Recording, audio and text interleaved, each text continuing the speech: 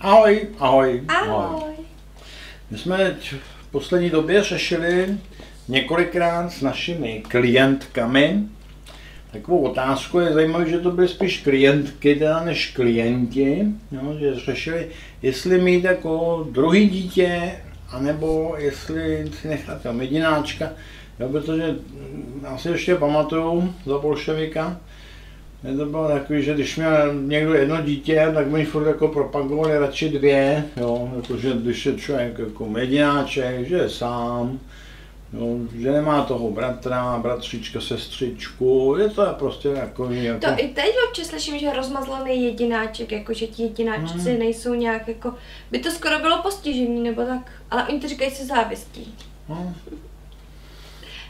Takže jako, ne, to jako opravdu jako těžká otázka. Já zase na druhou mm, stranu nemyslím, že je to tak těžká otázka, protože já osobně mm, preferuju to jedináčkovství. Já sám jsem jedináček. A ty? Já taky. Taky? No. My jsme tady dva jedináčkové. No. No. A myslím si právě jako, že no, že eh, když eh, člověk se prostě jako tomu tvoru, který ho má jakoby svěřený, jako věnovat všechno jako nejlepší, takže to je docela dobře, když je tam jenom jeden. No. My tady máme jednoho dexíka, Mhm. jo, a teď jsme měli právě taky ještě jednoho pejska na hlídání. No, oni jako furt se handrkovali, tahali se, furt jako tam byla nějaká soutěž. No nebo ten něco. druhý byl víc v pohodě než náš Dexík, no to mě trošku No. mrzlo. I když, a tak pak je jako blbý toho druhého nějak utiskovat, nenechat se ho projevit, když je taky roztomilý a fajn a to, No. tak potom je výsledku mi utiskovanýho psa, tak to, to, to, to No, to jako nedá nic dělat, tak jako musíte to, no.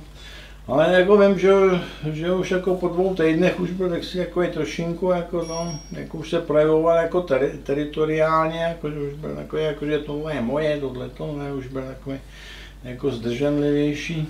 No, a teď je ta otázka právě, jakože i když si vzpomínám teda, když měli, kolik jsme to znali těch rodičů, to bylo určitě tak 10, 20, jo, protože měli jako nějaký dítě, který mu bylo kolik, 6, 7, no a pořídili mu bratřička. No, nevzpomínám si ani jednou jedinkrát, jako že by byli všichni šťastní z toho. No ten mladší, ale jako ku podivu, jo, ten třeba měl toho staršího rád. Ale ono je možná hlavně blbý, když jsou o tolik starší, protože potom se tomu staršímu říká, ty už jsi starší, ty máš rozum, musíš ustoupit tomu mladšímu, že jo. Půjč mu tu hračku, teď on je ještě malý, nebo třeba postarej se o něj, ty už jsi velký kluk, velká holka, musíš se postarat o mladšího bratříčka. No pak jako ten tvo- ten starší, co má dělat, má křičet, ne, já jsem taky ještě malý a to já to chci taky, pak by si připadl Hmm. jako blbě, protože tady bratříček, sestřička mladší, že jo, on ho utiskuje jako ten starší, co by měl mít rozum. Hmm. Je to takový jako těžká úloha, že jo. Teď rodiče se na něj koukají, jako, že teda prostě musí mít ten rozum, jestli ho nemá, tak je teda úplně, oh, co to je. No, takže to, ty starší eh, jako mají často i trauma, řekla bych, že jo. Už vůbec, jak je to miminko nový, tak se, tak se mu věnují víc. A než tomu staršímu je to prostě logičtější. Je takový roztomilejší, to miminko je nový, všichni jsou z něj nadšení.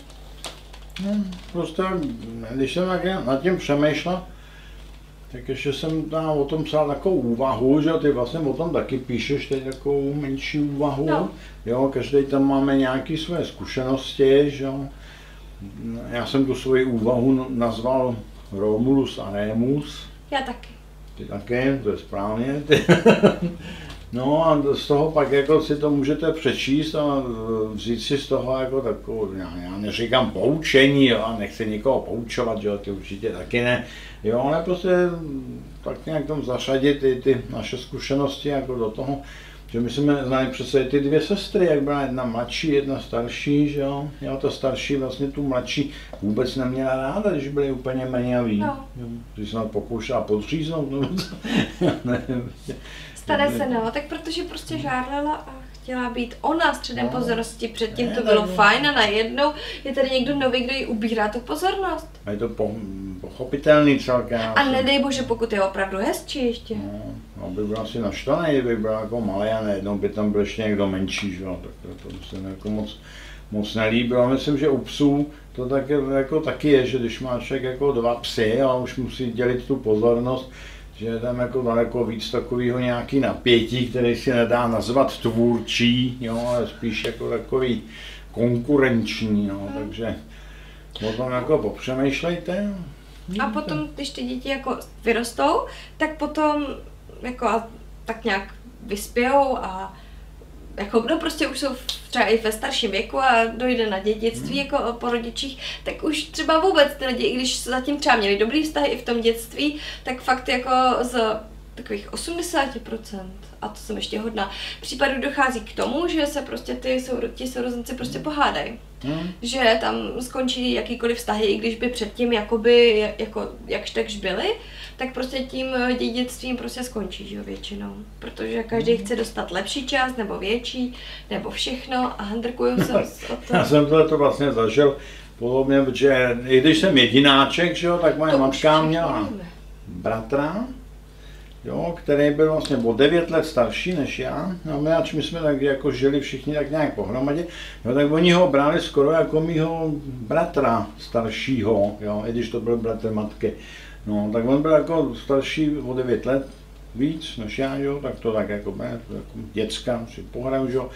No a teďka on kolikrát mě musel hlídat, jo, nebo dávat na mě pozor, nebo tak já, já vím, že to asi štvalo, jo, protože on se mě poměrně dost věnoval, to je všechno v pohodě a tak dále, ale potom jako nastala ta komická situace, že už jsme byli všichni starí, jo. No a moje matka zemřela, no a, a on se cítil natolik být jako furt tím mým konkurentem a tak dále, Eh, že se vlastně pokusil mě okrást o dědictví, že jo, jako vyklidil byt, všechno odnést, všechno ukrát, jo, v podstatě. Jo, a navíc to ještě pokládá za absolutně samozřejmý, úplně normální, jo. Přičem on jako vlastně, je, je to bratr, jo, čili můj strýc, jo, nemá nárok vůbec na nic podle zákona, jo, já jsem vlastně jako jediný syn, e, svý matky, jo, čili bych měl mít nárok jako absolutně na všechno. Na ten nešťastník se tam prostě připlete, protože to má v hlavě pomotaný asi ještě z toho dětství, jako když si připadá jako můj bratr, no, takže.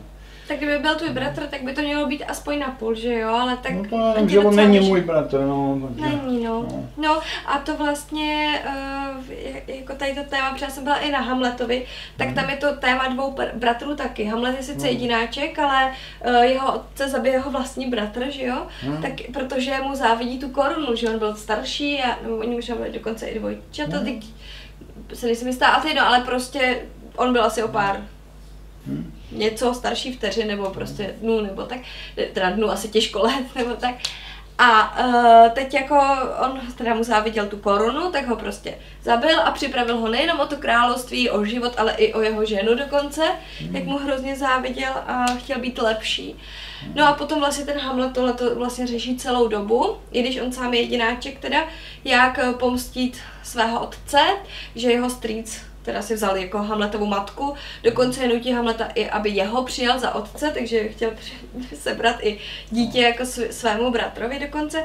No a pak to teda skončí samozřejmě naprosto tragédií, kde všichni umřou a takhle končí konkurenční boj mezi bratry nebo i sestrami. No, Úplně skoro vždycky.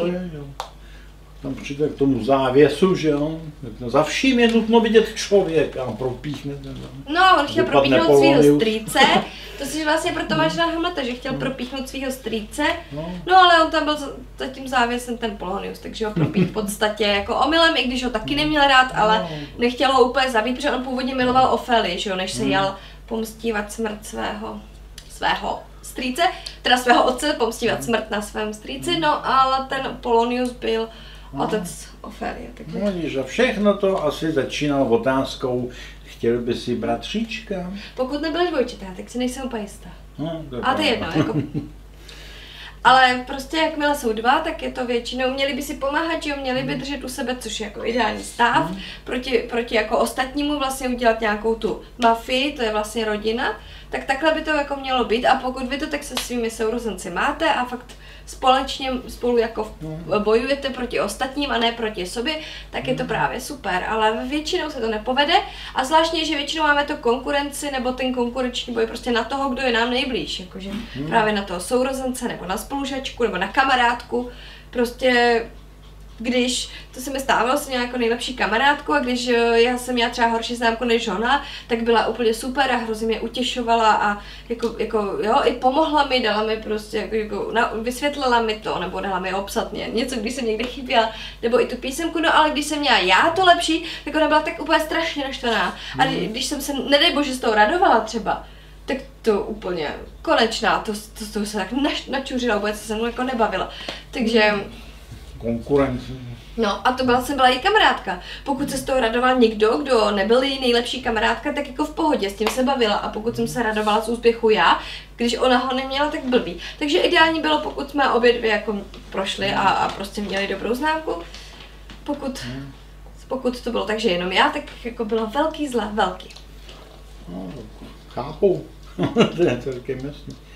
No, ale jsou to jako dobré věci, jako nad kterými je dobrý zapřemýšlet, protože samozřejmě takové ty věci, jako že rodina má držet pohromadě, rodina je základ státu, rodina eh, vlastně je taková nevím, bašta před těma ostatníma. No mělo by to tak být. Jako mělo by to asi jo, jako my jsme v tom jako byli vychovávaný, ale jako já si myslím, že teď už to dávno neplatí, poněvadž jako tady většinou prostě mezi rodinnýma příslušníkama tady je tvrdý boj právě třeba o to dědictví, o moc, o peníze. O to, kdo jo. bude koho ovládat, kdo bude úspěšnější, Kdo ti- hezčí, koho rodina bude víc No, uznávat. že Já jsem tohle jako nikdy nezažil, jo, jako aby se do mých záležitostí jako rodinných připletl někdo, kdo tam vůbec nepatří a začal vyřizovat věci jako za mě, jo, aniž by se mě zeptal. Jo, tak to už je jako trošku patologický, že jo, pak se to musí řešit přes různý trestní oznámení a přes policajty a přes soudy, že jo. Jako. Hmm. Dřív se to vyřešilo prostě ručně, se to jako vysvětlilo, jo, ale dneska už je jiná doba, no, tak si na to dávejte pozor, jo, protože jako dneska eh, se nedá věřit opravdu nikomu. Právě a naopak často si ti členové rodiny myslí, že na to mají právo vás nějak ovládat nebo říkat, co máte dělat. No i když na Facebooku si to myslí úplně každý, když vás vůbec nezná, ale v rodině si to myslí, že na to mají ještě větší právo, protože jsou prostě členové rodiny, takže vás můžou jako ovládat, tohle je v tom nebezpečný. No a právě můj náš soused jako vždycky říkal, ne podle naší rodiny, ale všeobecně, eh, říkal, že eh, seš na mě, on to říkal teda doma, pro své rodině, seš na mě jako na vlastní, protože jak se říká, seš na mě jako na cizí, tak on říkal, seš na mě jako na vlastní. Hmm. A to říkal, proto, no, protože vlastně mm, to, co si dovolíš, jako třeba žena ke svému muži, co mu řekne za prostá slova, nebo muž ke své ženě, nebo ke svým dětem, co si kolikrát dovolíte, tak to je úplně strašný. A v životě byste se tak nechovali k někomu cizímu, pokud vám teda na něm jakože nějak záleží třeba na kamarádce nebo tak, no většinou, i když vám na něm nezáleží, se k němu chováte líp. A ty si vlastně říkal taky ne něco podobného, že, eh, že, že si vždycky dával pozor, jak se ta žena chová ke své matce, že podle toho si no. poznal její jako pravou povahu, protože to, co No. si dovolí k matce, tak se třeba bude chovat potom k tobě jako k muži, když si bude myslet, že si to může dovolit. No a taky se můžeme podívat na různé jako do historie na různé jako rody, takže vlastně to tam taky nebylo vždycky jako úplně nejlepší, že jo, tak Uh, I když pak byly třeba borčové, ty při sobě jako drželi, že jo, ty, ty naopak tam trávili všechny okolo, aby se dostali jako nahoru, tak pomáhali tomu otci, aby se stal papežem a to. Ten možná byl fakt nějaký chytrý, že je výborně ovládal, protože po jeho smrti se to teda celý rozpadlo a eh, rod Borčů šel do, do háje, ale jako za něj to fungovalo, že a ta rodina fakt jako jela a eh, trávila tam všechny ostatní a, a tak. Ale třeba když eh, je ta eh, Kleopatra, ne, tak ty taky soupeřili o moc a Kleopatra vlastně teda měla ten trumf toho Cezara, že se postavila na jeho stranu, když to ta její sestra se postavila na stranu toho bratra, který chtěl vládnout a ta Kleopatra byla starší, že nějak, tak tam měla vládnout. No a uh, oni teda spolu potom bojovali, že jo, Kleopatra na straně Cezara a vyhrál samozřejmě Cezar, že jo, to všichni víte. No a potom teda, ačkoliv Cezar nechtěl, i když ten, ten, ten bratr jej nějak umřel v těch bojích, ale ta sestra přežila, Kleopatře, no tak Kleopatra jí dala samozřejmě zabít proti vůli Cezara dokonce, protože nechtěla, aby ji někdy v budoucnu No. ohrozila, že jo, najat na tom trůnu. Takže prostě takhle někdy to i v rodině není úplně ideální. Hmm. Takže ano, je fakt jako, že někdy to v rodině opravdu pomůže jedně, tak je to tam musíš trošku profackovat. No, jako No, musíte být třeba silná osobnost, třeba ten otec, který o fakt ty děti Mm. nějak ovládá jako silně, prostě aby ta rodina fakt jako klapala, šlapala. To to je i v nějaký báji český, že jak ten otec uh, jako to držel, já ty, jsem byl če- nebyl dokonce praotec Čech, nebo tak, jsem se podívat, no a on prostě umíral, jo, a za jeho života to země skvétala a to a prostě rostla, no a teď když umíral, tak na smrtelném loži, možná je to pohádka, nevím, si zavolal tři syny a řekl jim, podívejte se synové, uh, jo, dal jim takhle těma Tři pruty. No, to byl kdo? No.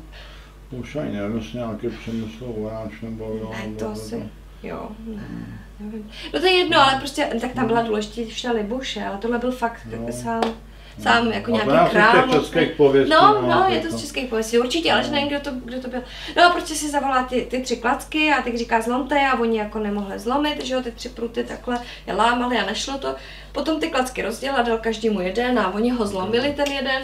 A on říkal, podívejte se, tak eh, pokud budete držet spolu, tak budete, sil, budete silní a nikdo, nikdo, no to nemohl být pravda z těch, protože potom se to, no protože, protože nikdo jako na vás nebude moc, ale jakmile se budete prát a rozdrobíte tu zemi, že jo, prostě, tak, eh, tak, tak vidíte, jak vás každý zlomí a půjde, půjdete jako dolů.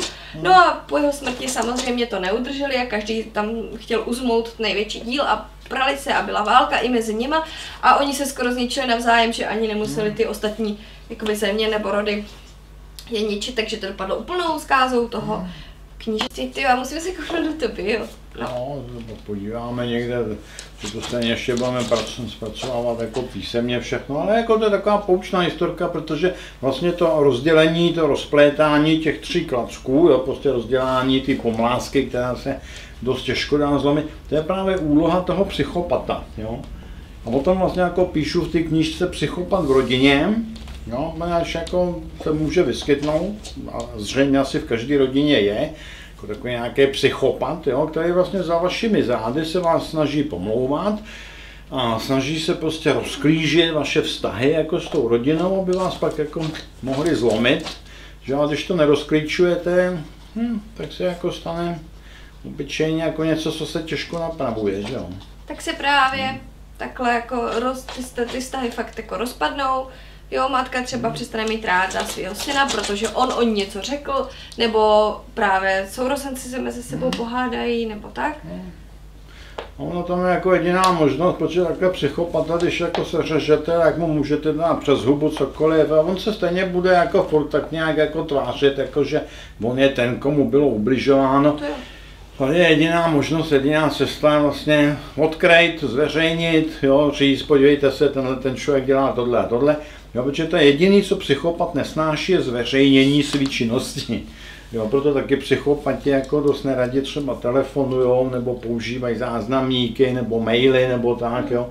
Já třeba ten psychopat v rodině, ten, který ho znám já, jo, tak jako ten za poslední dva roky ani jednou nešel na mail, ani jednou, ne, jo, prostě nic, co bych mohl mít v ruce, jako proti němu. On jsou takový chytrý, bystrý, radši si najmou právníka, všechno. Jo, a to je v pohodě, necháme jim to. Psychopata nejlépe prostě prohněte a dáte mu přes držku, když jdete stejnou metodou, jako dělal on. Ano. A pak vám to samozřejmě vyčítá, protože to vy nemůžete, vy jste zlí, ale on na to právo samozřejmě má. Jo, takže jsem na to zvědavý, protože jak říkáme, jako v boji proti psychopatům nemáme co ztratit, jedině své okovy. Tak se zatím mějte, čau, ahoj. Ahoj.